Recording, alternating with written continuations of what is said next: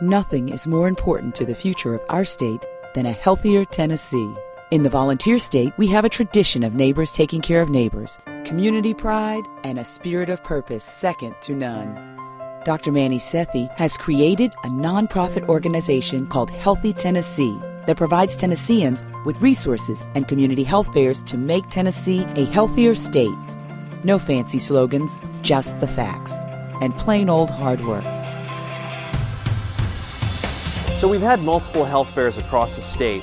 Uh, today we have about 30 uh, different groups from the private sector who have come together to see patients, many of whom don't have uh, access to care, some who don't have insurance, to really help them and to educate them about healthy lifestyles and to do health screens. Really what Healthy Tennessee shows is the power of the private sector and of bringing these groups together that want to do good all at one place at one time. Dr. Sethi, he's doing a wonderful thing being here and putting on a health fair like this. Coming here, I learned about all the things Health Tennessee is doing. I think Health Tennessee represents what Tennessee needs. I didn't realize how bad the healthcare in Tennessee was. I thought it was just a microcosm over in Nashville General because we see this every day. This is our life. That's why we do what we do. And they come out here and, and we provide them some, some good care and we hopefully allow them the opportunity to learn a little about how to become healthy. And overall, as our communities get healthier, the state will get better. So what better way to be able to equip people, talk to people, give them access to the proper information, meet them, be able to answer their questions and point them in the right direction and to be a part of a community event such as this. We think it's very important to make our state healthy and move us off that radar screen if we're the heftiest state and move us to the healthiest state.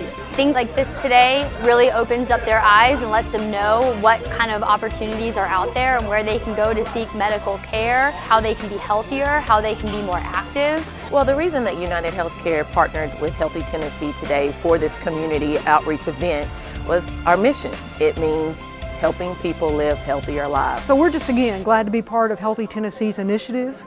We're working one-on-one with the kids to set up their own personal healthy eating and active living goal before they leave here. So we're excited to partner with you and we look forward to doing this across the state of Tennessee.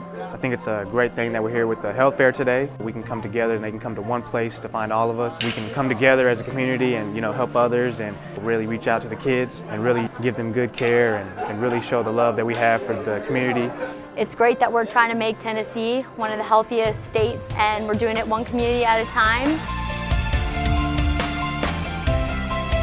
On behalf of Healthy Tennessee, I want to thank all the volunteers who have come out to make these health fairs so successful and to help change the lives of Tennesseans across the state to live healthy lifestyles because I believe that together we can make a difference.